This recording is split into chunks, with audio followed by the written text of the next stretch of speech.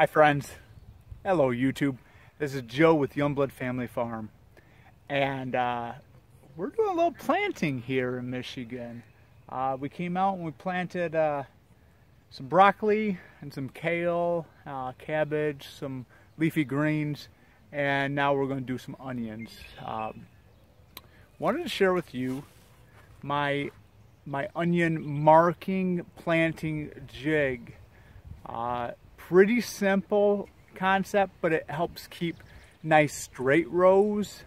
Uh, helps make divots for placing the onions and uh, pretty easy to change and adapt. So I'm gonna demonstrate and that's gonna be pretty much it. So I had a student make this for me several years ago and what you see here is just a piece of dowel rod, a 2x4, and some short sections of dowel rod.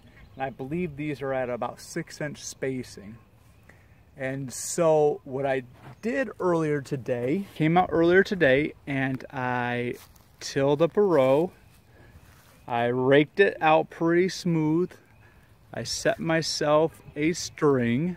All I have to do now is push it down, go a little further, push it down, go a little further. And once I get going, I can really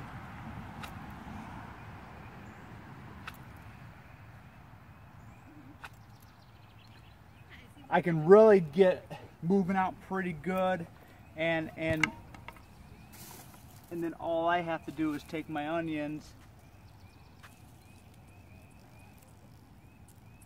and place them in their spots.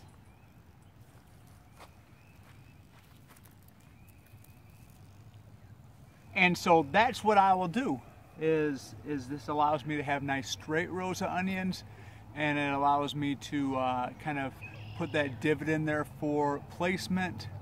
Um, I will come back after planting and maybe lightly rake over the top just to put a little bit of dirt on it and water it and that'll be pretty much it. Um, nothing too spectacular here, just it might be something that helps you out. So thanks for joining me.